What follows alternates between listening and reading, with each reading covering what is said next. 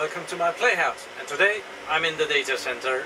It has been a while since I made a server video, so I thought I would do one today. And um, I have a server here and it has been blinking, uh, lighting up yellow for quite a while, so I thought I would take a look at that today.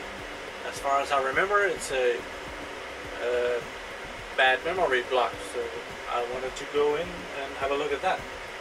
But the server is right now, it's turned off. Uh, that is what this blinking green button means. When it's when it's blinking, it's off. If it's a constant green, it's on. Uh, they're all off right now.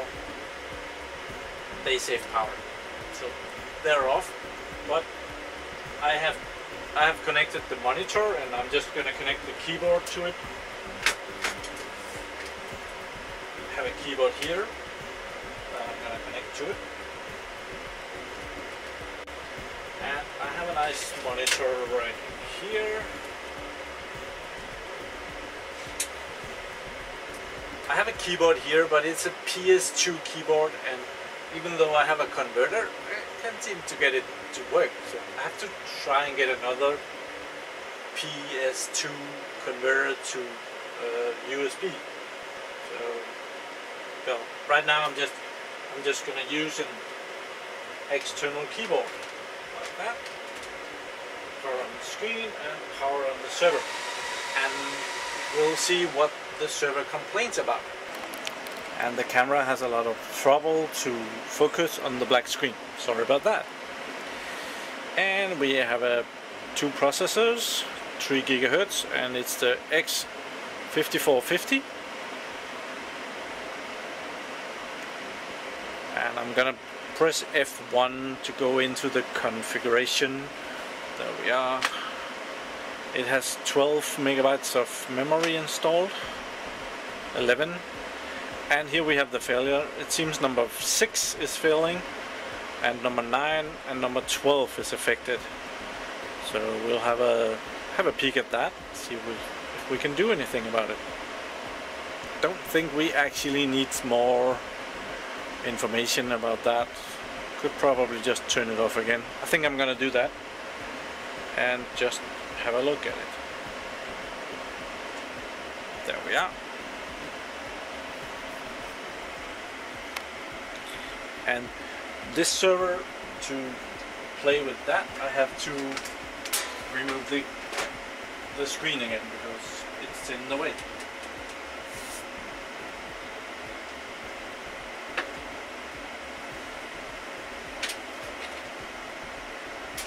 disconnect the keyboard and I have to go around the back and disconnect the cables to it so that I can slide it up slide it out and open it so as you can see the server is now dead and I should be able to slide it out. The rail system uh, it does allow for me to put in an arm for cable guidance and stuff like that but um, my racks don't really have that much space behind of them so I actually not I'm not using that So every time I slide a server out, I disconnect the cables. Let's go in, see what, what's inside.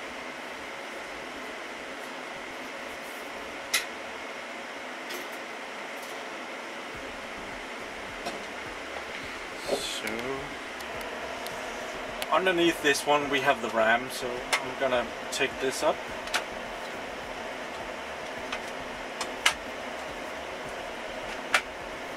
It's a lot easier with two hands. Must admit that. Ah, come on. There we are. That. Just turn it upside down so that I don't damage this. And beneath here we have the RAM. Oh. There we are. And it's all full totally full.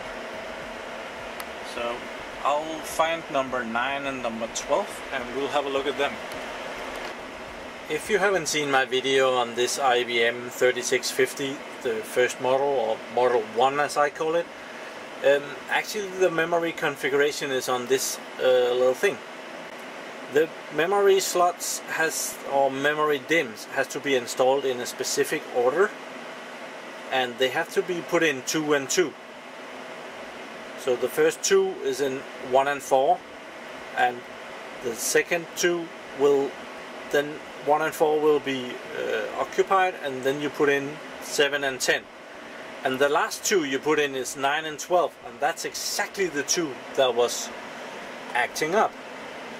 So I think this is number 12 and then this is probably number 9 I'll have to look at the board. Um, I think there is some kind of texture down here. Text on the board. Yeah number 9 is this one and then number 12 will be this one. I will um, try to take one of them out and see if the error disappears.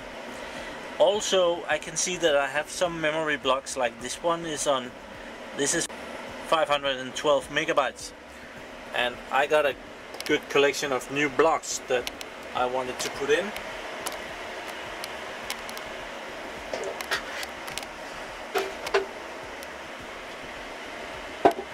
There's not a lot of room in here to navigate around, so just slide the server in a bit.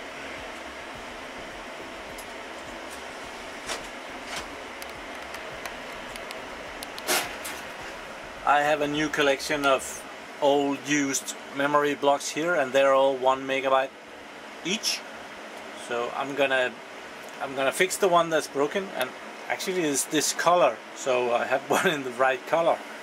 Ain't that cool? And I'm gonna exchange the 512s with two one gigabytes. And um, this is some rather old RAM but it's actually getting quite expensive again. It's like RAM is very expensive when it's brand new and then it becomes cheap in the middle and then it becomes very expensive at the end again. So this is old equipment and you of course have to watch out for electric static thingy. Um, I know by fact that the server racks are grounded because I did that myself. So I made sure to not touch my hair or anything stupid but I have actually never burned off a DIMM RAM in that way. I don't know if this is the broken one, so we're not gonna throw it out yet. And I'm gonna put this one in.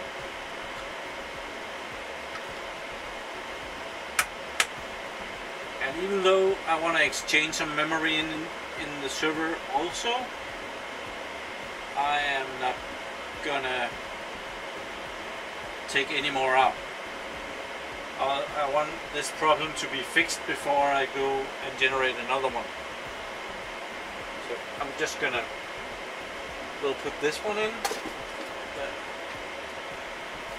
part that goes over the memory, otherwise it will be complaining about that. But otherwise I'll just connect power and power it up. Oops.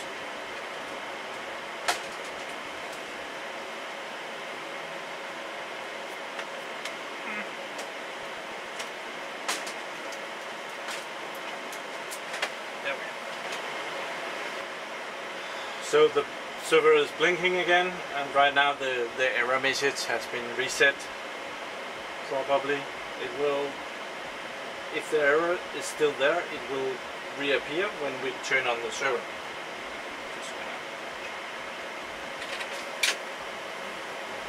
The display and connect the keyboard and power up. Power is on and it's it's complaining so I probably took out the wrong memory module I'm just gonna check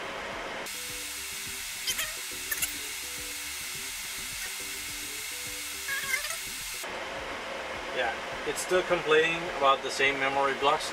So apparently I changed the wrong module.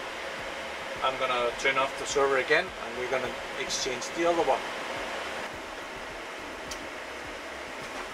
And this is pretty much why I didn't put the cover back on because you never know. It's a lot easier to um, well I exchanged number 9 and that didn't work and right now I'm making sure that I'm grounded with the server. I have my hands on the metal. Um, so it's probably number 12 that is bad. So this memory model module that I put up here is probably good. So I'm gonna take out number 12 and put in the other one. Take out number 12, it's there, and put in this one.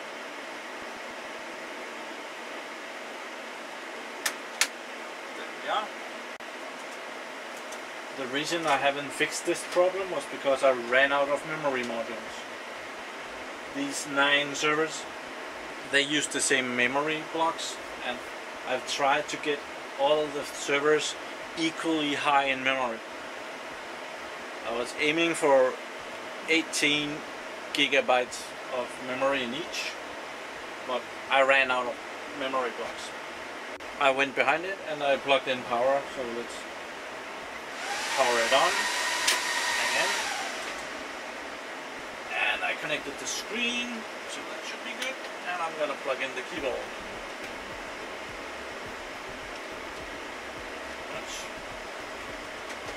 Probably not gonna be needing the keyboard. I'm just gonna check if the error has gone. Let's see, yeah, you're able to see that. It actually displays an error still. That's kind of irritating. Let's see if it still is a memory error. Now it displays another number of memories. so apparently the memory error is gone. It complains that the memory size has changed, but that's not really an error. It's just that it has changed. This is apparently working. I'm gonna hurry up and turn it off before it starts booting the operating system.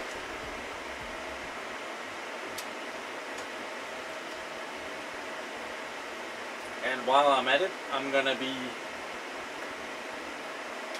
installing two new models. I'm gonna be very careful to uh, put this away because this is apparently not really working very well. And then I have five memory modules. There's only room to exchange some memory in this thing, so, but yeah. I'm gonna unplug power and we're gonna open it up again. Hmm. Apparently I forgot something. I forgot to put this one in. Um, I didn't really complain about that, so probably not a problem.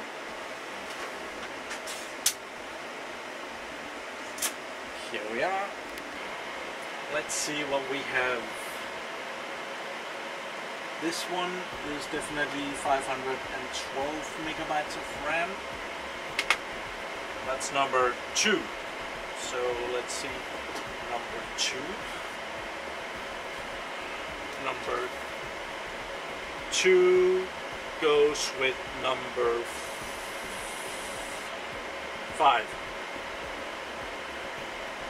So probably number five is at 512 megabytes as well. One, two, three, four, five. Yep. It says right here on the memory blocks. Let's see, it says right there that it's 512 my megabytes of memory. So by exchanging those with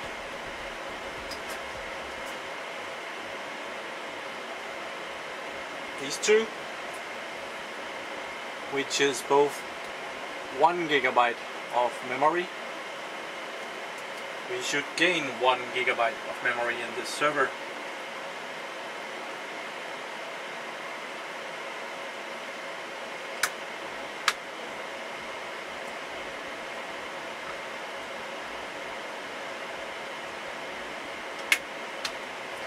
I can I can see that memory block number 1 and memory block number 4 is 2 gigabyte blocks so there's four gigabyte blocks in these two blocks. Um, and I can see that over here is another 512 megabyte in number 11 right there number 11 so just to check just see what number number 11 goes with. Number 11 goes with block number 8 11 and 8 so that should be this one. And sure enough it's a 512 megabyte block. I'm gonna put those two on the shelf there.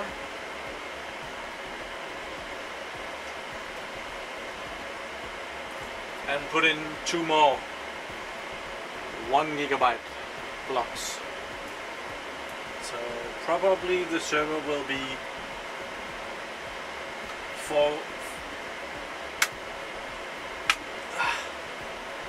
14 gigabytes now.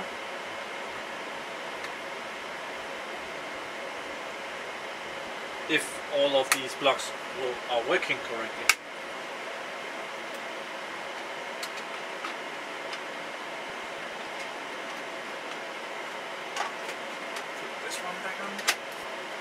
I'm gonna take the chance and put up the put on the cover and hope that everything is good.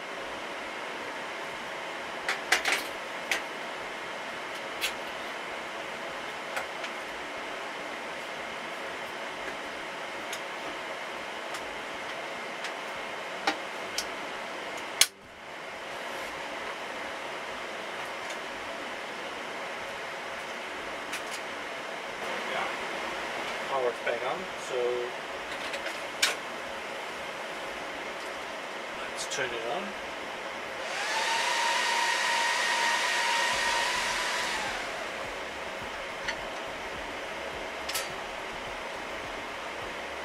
And see what the memory configuration says.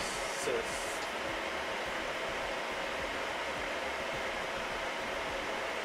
Fourteen gigabytes of memory.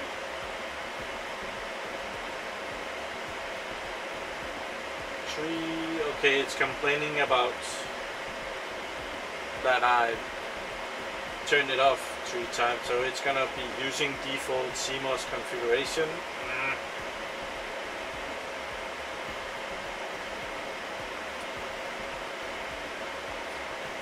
I better not turn it off this time. But I fixed the memory problem and I increased the server's memory size by 2 gigabytes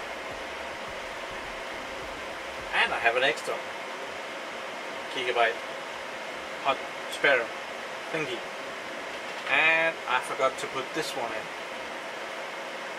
guess I'll have to take it apart again mm. Well I took it apart again disassembled all the cables and put in the little plastic thing that I'd forgotten and now it's booting VMware so so this video is now completed. I fixed the memory error and I added 2 gigabytes more of memory. Thank you for watching my videos. Do subscribe to my channel so that you can see me again. Have a really nice day. Bye bye.